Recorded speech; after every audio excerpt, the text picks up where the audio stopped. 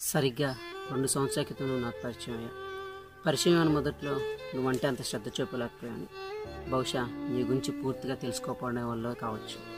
కానీ కాలం గడిచే కొద్దీ నీపై ఇష్టం పెరుగుతూ వచ్చింది. ఇప్పుడు నువ్వంటే ఎంత ఇష్టం అంటే పొద్దున్న లేవగానే మొదటి ఆలోచన నువ్వే రాత్రి పడుకునే ముందు చివరి ఆలోచన నీదే. నీ స్పర్శతో నన్ను కొత్తలో కొత్త లోకానికి తీసుకెళ్ళావు. కానీ నీకు ఇది తగునా? నా జీవితాన్ని ఆడుతూ పాడుతూ గడిపేస్తుండేవాడిని. కానీ ఎవరితోనూ మనస్ఫూర్తిగా మలుచుకోకుండా చేశావు. నాకు ఇప్పుడు అర్థమవుతుంది.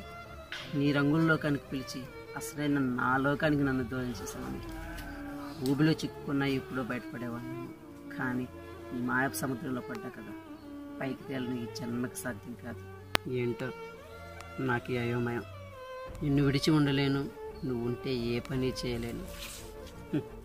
అయినా ఏరుకోరి తెచ్చుకున్నా కదా. ఈ జన్మంతా నిన్ను అనుభవి